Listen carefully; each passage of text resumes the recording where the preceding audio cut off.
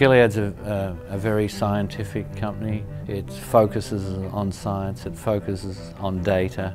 We like to do things that will really improve patients' lives, not just a little bit, but a lot. So we're, we're not really interested in incremental steps forward. We want to make large leaps forward as we have for hepatitis C. One of the next frontiers for hepatitis C is looking at the idea of elimination.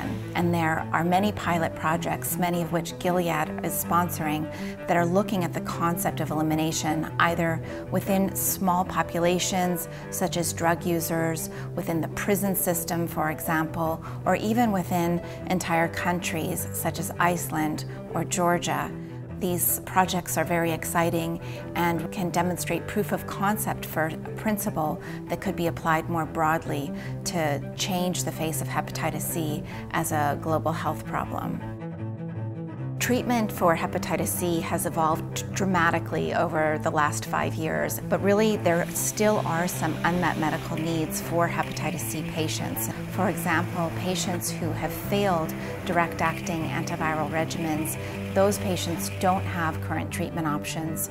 So that's an unmet medical need that we're trying to address as we continue to move our scientific and clinical programs forward. Whilst we've uh, been successful developing highly effective regimens for hepatitis C. We're actually even more excited about what we're doing in hepatitis B and, and fatty liver disease. We have a huge opportunity and we're very excited about what we can potentially do now and what we want to do in those other liver diseases after hepatitis C.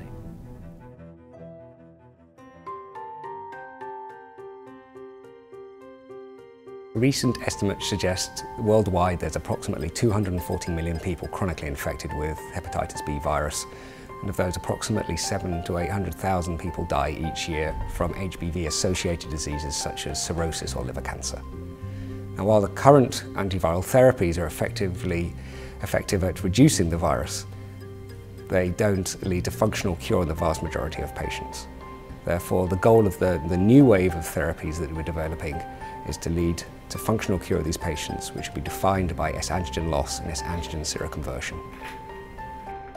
Challenging aspect of working on chronic hepatitis B is there's no clinical proof of concepts in terms of achieving functional cure.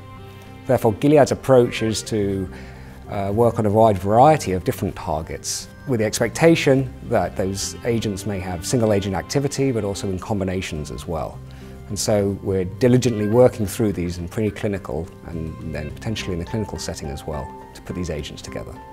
I've worked at Gilead for over a decade and, and seen our commitment to liver disease, in particular viral infections like HBV and HCV. Uh, now we're trying to address uh, end-stage liver disease as it relates to fibrosis and hepatocellular carcinoma. The prevalence of NASH is increasing uh, worldwide. Um, NASH is a consequence of metabolic uh, disease, uh, which is a consequence of obesity. It takes many years for NASH to uh, develop and to progress to symptoms and cirrhosis. So the majority of patients that are diagnosed are being diagnosed with later stage uh, disease with advanced fibrosis or cirrhosis. Because the etiology of NASH is multifactorial, involving lipotoxicity, inflammation, alterations in cell signaling, and fibrosis, it's unlikely that any one medication can address all of the underlying causes of NASH. So we think that in the future, combination therapy will really be what's uh, important. We're very interested in understanding the effects of modulating pathways, uh, the interconnected pathways that are involved in end-stage liver disease, including NASH. Uh, for example, the metabolic uh, underlying uh, effects, as well as the processes of signaling and fibrogenesis. One of the primary challenges with NASH is uh, diagnosis. Currently, it can only be diagnosed invasively through a liver biopsy. So we have partnered with uh, multiple external collaborators, uh, academics, research institutions, businesses to work on uh, non-invasive tests for the diagnosis and monitoring of NASH.